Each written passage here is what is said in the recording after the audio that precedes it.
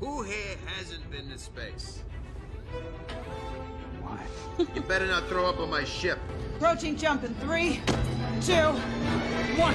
Um, we talked about this a little bit yesterday. I said I was going to dive into this, and this is where Jeff Loveness, who is writing um, Kang Dynasty and writing Quantumania, has come in and he has had some things to say about, excuse me, about how the new iteration of the Avengers, I'm sorry, this new this new Avengers team and how they're going to be thrown into the fire in Kang Dynasty. It goes on to say this is coming from the direct that says Avengers the Kang Dynasty might be years ahead, but head scribe Jeff Loveness is already teasing the involvement of new MCU heroes introduced in Phase 4. Avengers 5 is expected to have a massive cast considering the Earth's mightiest heroes will be up against Kang the Conqueror.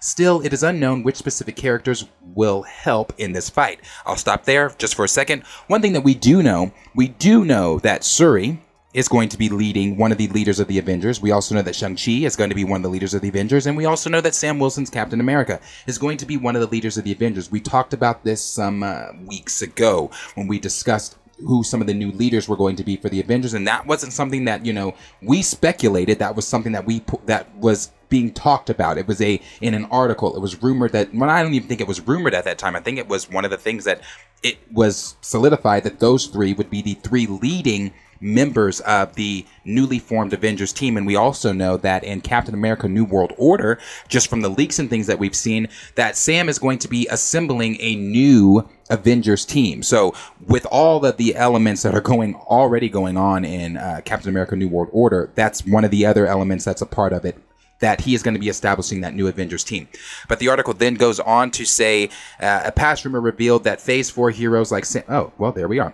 I didn't even know that. Okay. A past rumor revealed that Phase 4 heroes like Sam Wilson, Captain America, and Shuri's Black Panther I'm sorry, Sam Wilson's Captain America and Shuri's Black Panther would appear while Shang-Chi star seemingly seemingly confirmed his involvement when he expressed excitement about working with Avengers 5 director Destin Daniel Cretton again. And I for yes, I even forget that Destin Daniel Cretton is directing Kang Dynasty. He is also going to be directing obviously Shang-Chi 2. Shang-Chi 2 is going to I'm assuming and not just assuming, I feel like common sense would tell us that Shang-Chi 2 is going to play directly into Kang Dynasty, especially if Destin Daniel Cretton is directing it and it is coming before Kang Dynasty. And I think it's coming toward the end of. Um, I think uh, gonna be coming before the end of phase, toward the end of phase five actually don't don't don't don't quote me on that one. I'm not i have to check the dates on shang-chi 2 again. But uh, we do know that Destin daniel Cretton is involved in on both of those as director. So i'm assuming the whatever events happen in shang-chi uh, 2 will play into avengers 5 then they go on to say now the movie now the movie's writer shared what to expect about these heroes' inclusion in Avengers 5. Speaking with SFX Magazine via GamesRadar, Ant Man and the Wasp Quantumania and Avengers 5 Kang Dynasty writer Jeff Loveness talked about Phase 4, Phase 4's news char- new characters and how they will be involved in the upcoming crossover flick.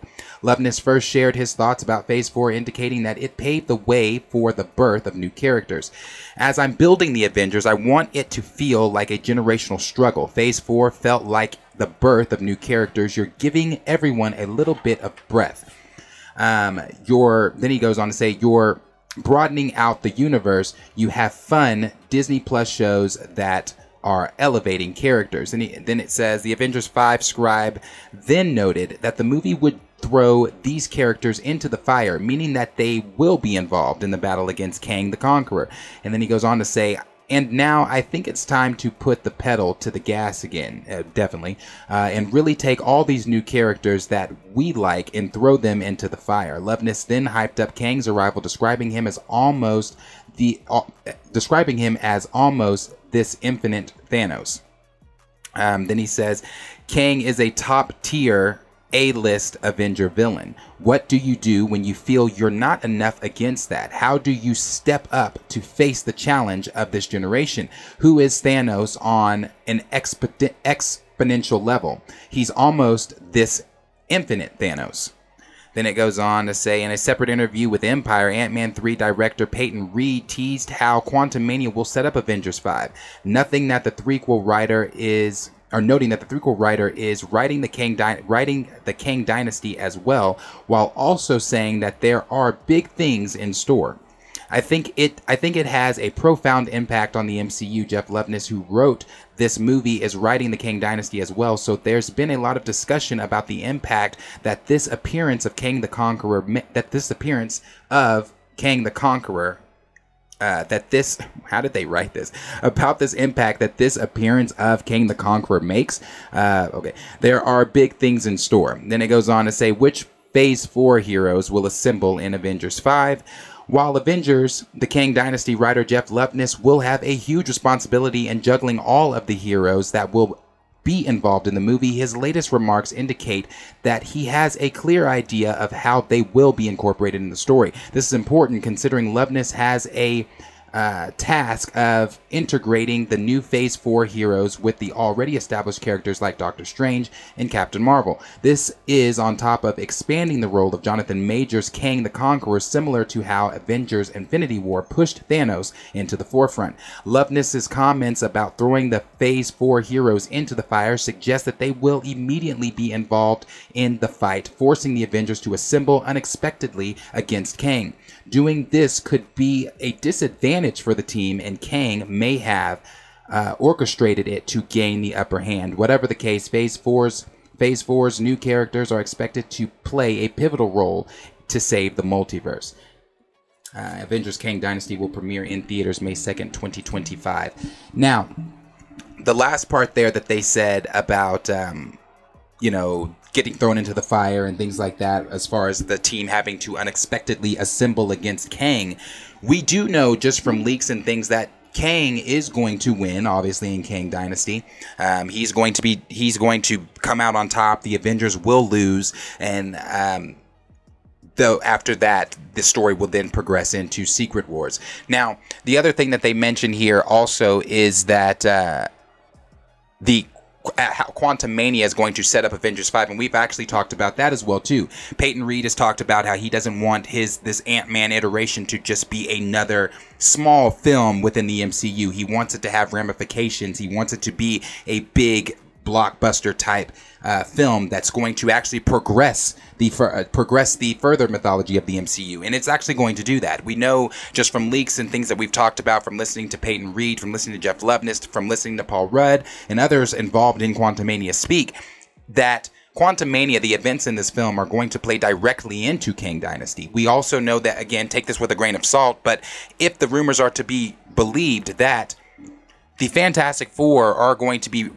trapped in the quantum realm toward the end of the film that we see them in a post-credit scene. They've been there the entire time blah blah blah captured by kang. Um, that they are then going to appear in Kang Dynasty with Hope, Hope, Hope and Scott, who are going to be left in the quantum realm at the end of the film. Um, so if that is to be believed, which Paul Rudd did recently, which we're going to be talking about on Thursday, but Paul Rudd did recently come out and say something about cameos, uh, major cameos being in Quantumania, and what those major cameos could be, I'm not sure. I'm still thinking the Fantastic Four, but again, that is a rumor that we have to take with a massive grain of salt at the moment. But as far as um, as far as what is going to be going on with Kang Dynasty and how it does it is very, or how Quantumania is pivotal to the events of Kang Dynasty. And we know that the new Avengers team is going to be getting assembled within New World Order. All of these pieces are starting to come together that are going to slowly be getting us to Kang Dynasty, slowly be getting us to getting to see that version of Kang that is supposed to decimate the Avengers, that is going to bring the Avengers to their knees. And once again, I have said many, many times when we talk about Kang, we have to see that. That is something we need to see. But I, I've even said we need to see it before Kang Dynasty. We need to be seeing Kang take out Avengers in different universes before Kang Dynasty. And I will say this about Kang too. You guys have heard me talk about Victor Timely and how Victor Timely was supposed to be rumored at the time. I hadn't heard anything about it for a while, but rumored uh, to be coming into Loki season two as one of those variants. Well, today I finally heard something about Victor Timely. I hadn't heard things about Victor Timely in months, but Victor Timely is still on the table for Loki season two, so we still should be seeing that version of Kang in Loki season two, along with other variants of Kang, uh, and that is per uh, Daniel RPK when talking about many different uh, variants of Kang being in Loki season two.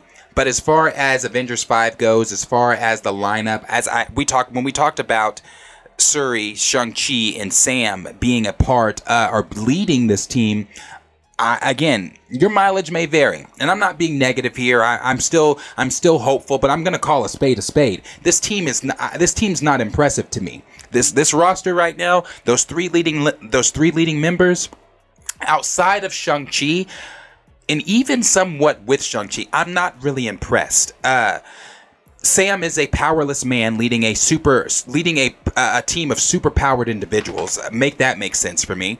Uh, Shuri got her ass beat by Namor, um, and she was only the Panther for 20 minutes.